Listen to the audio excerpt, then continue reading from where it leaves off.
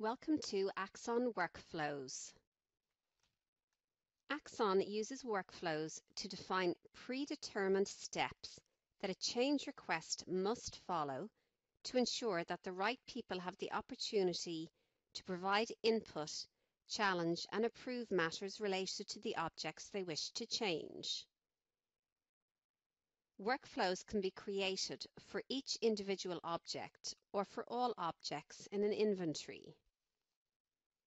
Your ability to create workflows will depend on the permissions your user has been granted in Axon.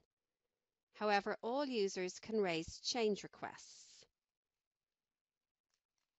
Shown here is an example of a workflow. Note there is a starting point and a set path to follow to work your way through the change request. This next demonstration will look at another key feature of Axon, workflows.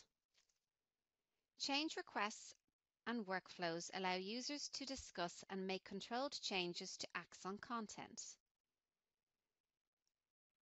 In this scenario, I have been called to action to conduct a privacy impact assessment as a change is being made to a process.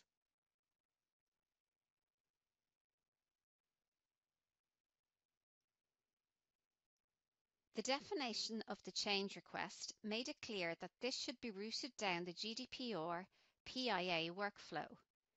And so this is the route stakeholders have selected for it. Here we can see the workflow below. These workflows are easy to design within the tool itself and are critical for collaborative work as they bring all of the important parties to the table.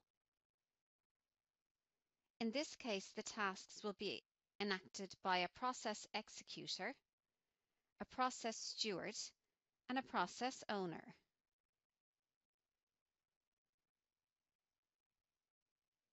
As I am a named process executor in the process, I have the power to complete my first task.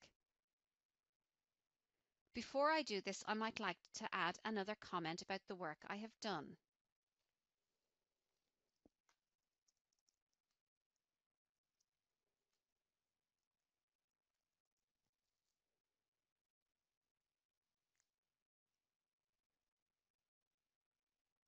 By commenting with the at symbol, I have tagged in another user to ensure that she is aware I have moved this workflow on.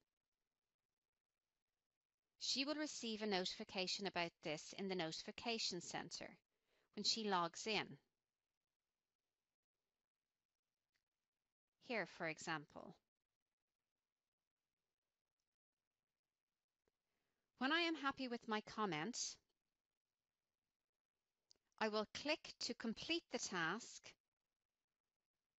and the process steward will receive their call to action as the workflow moves along the process.